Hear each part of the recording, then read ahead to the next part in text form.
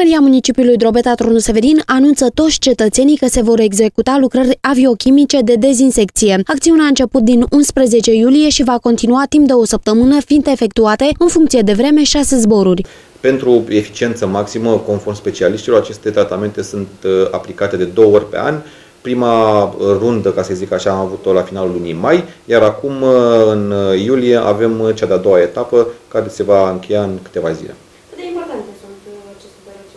Este extrem de importante, mai ales că ați văzut și dumneavoastră, deja orașul este plin de, de insecte, astfel încât uh, sunt mai mult decât necesare și binevenite aceste, aceste tratamente. Din punct de vedere al eficienței aplicării măsurilor de combatere și eliminare a unor potențiale focare de infecție, acțiunile de dezinsecție sunt tratate în mod unitar atât pe domeniul public cât și privat. De asemenea, apicultorii de pe raza municipiului sunt rugați să ia toate măsurile de protecție necesare pentru familiile de albine pentru a evita contactul cu substanțe insecticide distribuite pe toate zonele verzi ale orașului. Trebuie menționat faptul că soluțiile folosite sunt uh, avizate de către specialiști ai Uniunii Europene, sunt impuse ca și standard la nivelul Uniunii Europene, astfel încât ele nu afectează absolut deloc oamenii în niciun fel, ci sunt uh, specific folosite doar pentru uh, insecte.